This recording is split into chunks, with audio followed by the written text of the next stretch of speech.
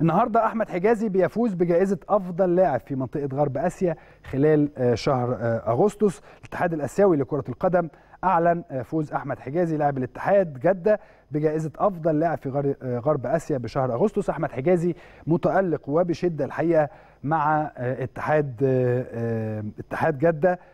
في الدوري السعودي وقالوا ان هو لا تقتصر مهام اللاعب احمد حجازي على المهام الدفاعية فقط ولكن زيارة شباك الخصوم باتت أمرا طبيعيا للنجم المصري الذي يعتبر من الركائز الأساسية في فريقه حيث سجل هدفين في أول ثلاث جولات